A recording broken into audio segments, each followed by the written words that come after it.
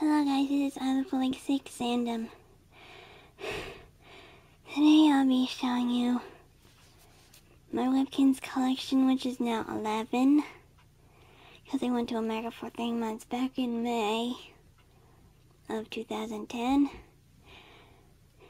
and um I know it's a little late but I'll just show you my Webkinz collection now. And first of all, all of you, and I'm sorry I didn't make any videos. And first of all, all you know, these three, which um, have been appeared in most of my real life videos. But um, this one you all know is Goldilocks. Well, uh, this one you know is Goldilocks, which I adopted first and Alaska and Brownie. Then I got them three from my old, oldest brother from Christmas of 2010. And the next two are these, which I got at Omaha, Nebraska at a Target. This one is Sunshine and this one is Sunray. Um, Sunray didn't have a tag, but I didn't notice that until after I bought them. And the next one is Cotton Candy, which I got somewhere in Kentucky, I don't remember where. And I got her at a Cracker Barrel. And the next one is Yin Yang, which I got at a Walmart in Florida. Which also came with these trading cards. Mizzleberry Jacks, a Mud Burger um, Webkinz News interview, Elephant, and Dogbeard.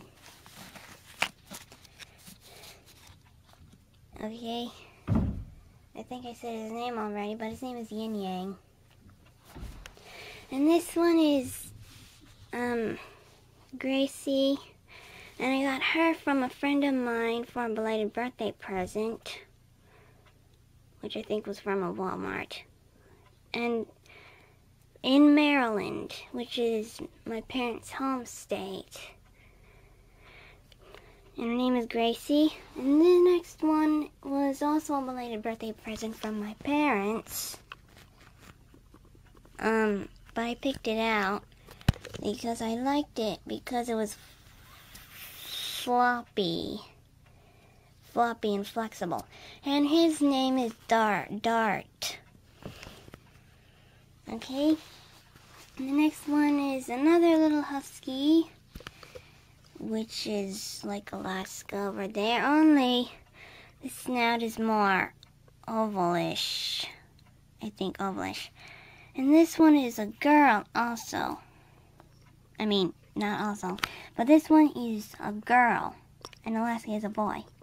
Anyway, her name is Flurry, and I got her from a a small store in a big mall, which I forget the name. And I also forgot the name of the little store, but it was mostly a video game store and it had a lot of Webkinz for some reason. And I was looking for particular Webkinz, which was a little kid's dog, and it had to be a girl. And the only one I could find was this, anyway. And the last one I got was, um,